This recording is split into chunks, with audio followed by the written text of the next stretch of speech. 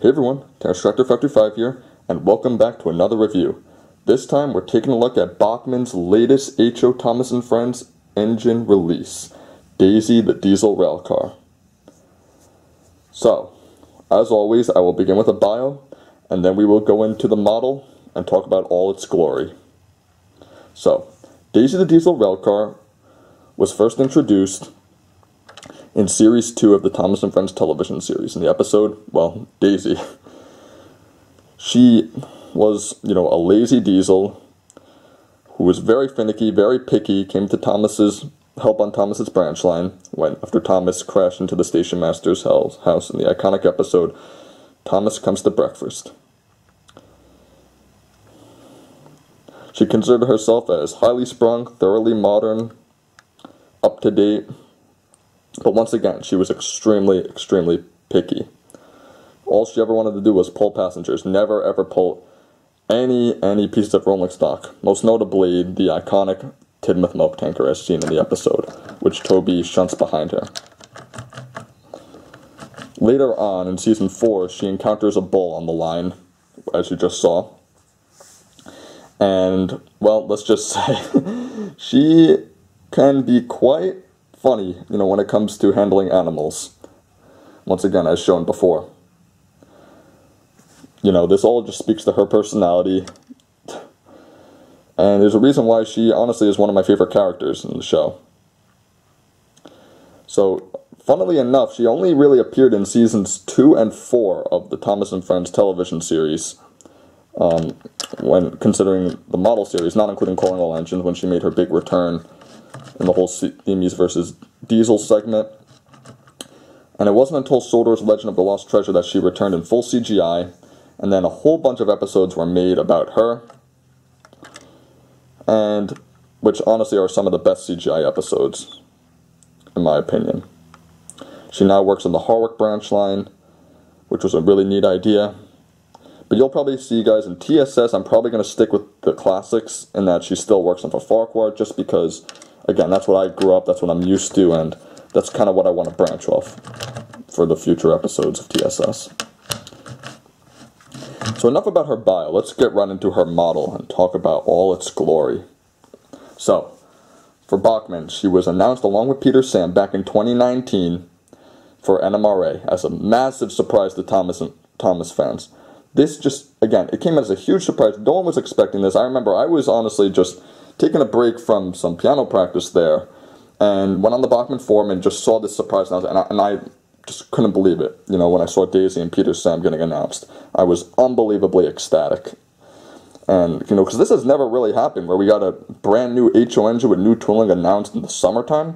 2019 was the first time we ever got this. And by the time I'm filming this, the NMRA for 2022 got announced, and we are getting Bo and Rebecca. And wow. I mean, I'm amazed that we're getting more engine announcements considering that 2022's February announcement was already a massive, massive surprise. A pleasant surprise, that is. And now we're getting more engines. It's just, it's amazing. And it's, it's just so awesome to see that the Thomas range is doing well and has so much attention. And, and, and I just want to thank Bachmann. If there are anyone from Bachmann's watching this, just thank you very much for constantly producing amazing Thomas models. We really appreciate it. Um, but yeah, Daisy has been a huge success as far as I'm concerned in terms of selling. Um, I'd highly recommend you purchase this model from Train World as um, they have excellent prices and their shipping is just wicked fast. So I'll leave it a link to it in the description to Daisy from Train World. And I keep showing you guys close-ups of the model, but I'm not even talking about it. So enough with all that stuff, and let's get into the model itself. So I'm going to start with the face, because the face is always a very important part for Thomas fans, you know, because it really defines the character's personality and how accurate it is to the show. So I think Bachmann did an excellent job representing the CGI face. I actually like the fact that the eyebrows, excuse me, not eyebrows, the eyelashes are not separately applied as I do think that that could have caused a lot of issues, you know, when producing the model. They drew them on very nicely too. You know, it's not too thick, it's not too thin. I feel like they're just right. It's nice to see that she has eyebrows too, and they did her makeup a little lightly, and that's honestly something that they did in the the original model that I found a little jarring. You know, they went really, really hard with the makeup and the eyeliner and all that stuff, and I was like, whoa, even as a kid. Um, but yeah, once again, this is an excellent representation of the CGI face, and I must also state the moving eyes. That is something I was very impressed with. Um, I never opened up this model, but when seeing her run down the track, the moving eyes, they don't, I would have thought they would go back and forth a lot faster considering how, the fact that Daisy's a bogey diesel and that the wheels are a lot smaller, but no, whatever they did inside with the mechanism, they did a stunning job as it's a very, very smooth back and forth at a gradual pace. She also has her notable white buffers, which are iconic. And yeah, again, the moving eyes really, really surprised me.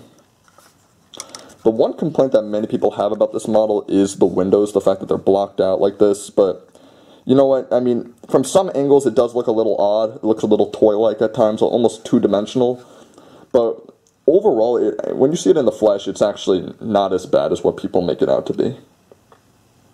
You know, some have argued maybe they should have done black instead, which I could kind of see because I know Ertl and other um, Daisy toys in the past have had blacked out windows, which don't look too bad, but they were probably going for more of a CGI look, which, you know, most of the time you would see silver windows instead of black ones.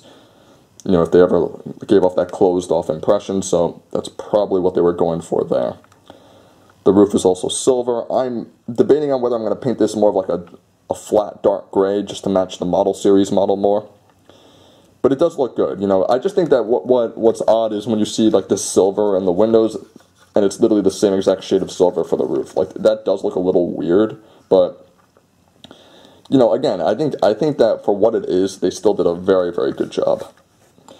The back is one of my favorite parts because she has three molded lamps at the bottom here, as shown in both CGI and the model series, as well as one up here.